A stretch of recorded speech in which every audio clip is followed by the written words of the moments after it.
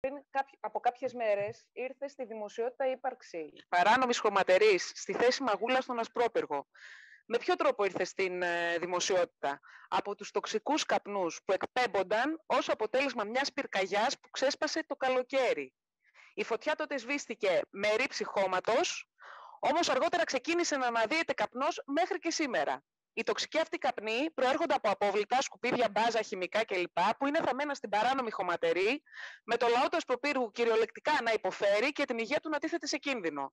Και είναι πραγματικά εξοργιστικό για μήνες να υπάρχει αυτή η υγειονομική βόμβα στην περιοχή του Θριασίου, που είναι ήδη βεβαρημένη, και τη, τη στιγμή που υπάρχουν δύο έγγραφα τους Τμήματο Ελέγχου Μετρήσεων και Ευρωοικονομία ε, Περιβάλλοντος Περιφερειακής Ενότητας Δυτικής Αττικής, από τα οποία προκύπτει ότι είναι σε γνώση των αρχών της περιφέρειας της Δημοτικής Αρχής Ασπροπύργου και αυτοί σφυρίζουν αδιάφορα και δεν έχουν λάβει κανένα μέτρο. Και λέμε συγκεκριμένα τι λένε αυτά τα έγγραφα.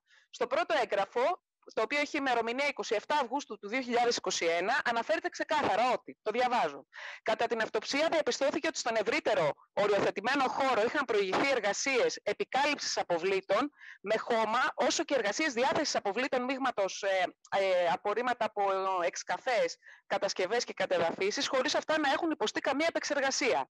Στην επιφάνεια των ανωτέρων σωρών παρατηρήθηκε η ύπαρξη καπναερίων που εκλείονταν μέσω οπών στο έδαφος και προέρχονταν από την καύση αυτών των αποβλήτων, που είχαν επικαλυφθεί με το χώμα δηλαδή.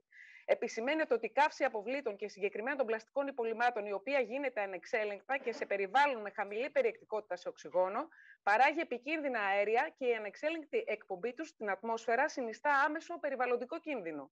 Από τα παραπάνω προκύπτει έντονη υποβάθμιση του περιβάλλοντος και ρήπανση της ατμόσφαιρας από τα καυσαέρια που παράγονται κατά την έννοια του άρθρου 2 του νόμου 1650 του 86.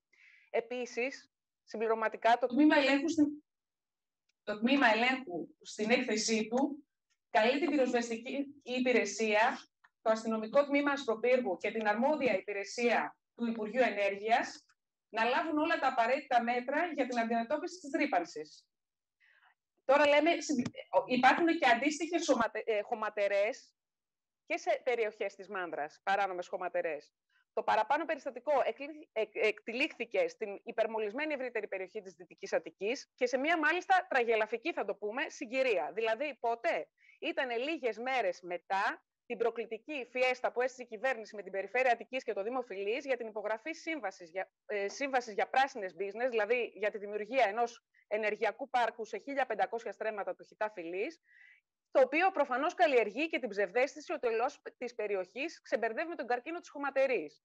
Ο λαός της περιοχής αυτής εδώ και χρόνια ζει με τον καρκίνο της νόμιμης και των παράνομων χωματερών, ζει με τον κίνδυνο ενός μεγάλου βιομηχανικού ατυχήματος εξαιτίας της απουσίας ουσιαστικών μέτρων πρόληψης και προστασίας, βιώνει τις συχνές πυρκαγιές σε διάφορα εργοστάσια ανακύκλωσης που δραστηριοποιούνται στην περιοχή ε, και με όλα τα άλλα ε, φαινόμενα, τον κίνδυνο όλων των άλλων φαινομένων για τα οποία δεν έχουν πάρθει μέτρα, πλημμύρες, φωτιές κτλ. Και όλα αυτά, σαν, επιστέγμα, σαν επιστέγασμα, είναι και το γεγονός ότι είναι, ε, εκεί πέρα υπάρχει μόνο το θριάσιο νοσοκομείο, είναι σοβαρά υποστελεχωμένη πρωτοβάθμια φροντίδα υγείας. Οπότε, ενώ είναι εκτεθειμένοι σε τόσους κινδύνους, δεν υπάρχει δυνατότητα σε περίπτωση ατυχήματος, σε περίπτωση οτιδήποτε, να, να, έχουν, να έχουν υγειονομική περίθαλψη. Ο Ασπρόπυργο και συνολικά η Δυτική Αττική με διαχρονικές ευθύνες και κυβερνήσεων και περιφερειακών και δημοτικών αρχών, και τι έχει απαντήσει η εισαγγελία, αν ερευνήθηκε η τοξικότητα των υλικών, τι μέτρα θα πάρει η Περιφέρεια Αττικής για την προστασία του περιβάλλοντος και των κατοίκων της περιοχής. Και συμπληρωματικά, επειδή έχει, ε, έχει περάσει πάρα πολύς καιρός από τότε που δεσμεύτηκε η διοίκηση ότι θα συνεδριάσει ο ΕΣΔΝΑ και το Περιφερειακό Συμβούλιο για τη διαχείριση απορριμμάτων ε, μιλάμε τώρα, αυτή η δέσμευση πάρθηκε το Φλεβάρι του 2020, πριν 1,5 χρόνο, και δεν έχει γίνει καμία ανοίξη για να συζητηθεί σαν θέμα στο Περιφερειακό Συμβούλιο. Και τότε υπήρχε δέσμευση για μονοθεματικό, να είναι μονοθεματική συνεδρίαση. Την ίδια στιγμή, βέβαια, τα έργα επέκτασης ε, του ΧΙΤΑ, ε, δημιουργίας νέων ΧΙΤΑ, προχωρούν κανονικότατα. Θέλουμε απάντηση και σε αυτό. Πότε σκοπεύει η διοίκηση να το φέρει για συζήτηση. Νομίζω ότι είναι κρίσιμο και για το οποίο προφανώς δεν είχε αρμοδιότητα να απαντήσει ο κύριος Κοσμόπουλος, πότε ε, θα συνεδριάσει το Περιφερειακό Συμβούλιο με το θέμα της διαχείρισης των απορριμμάτων, με το ΠΕΣΔΑ.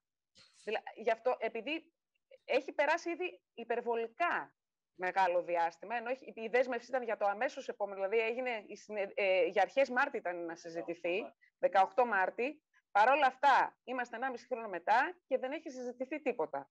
Και προβλήματα σαν αυτό είναι καθημερινότητα για τους κατοίκους της Δυτικής Αττικής.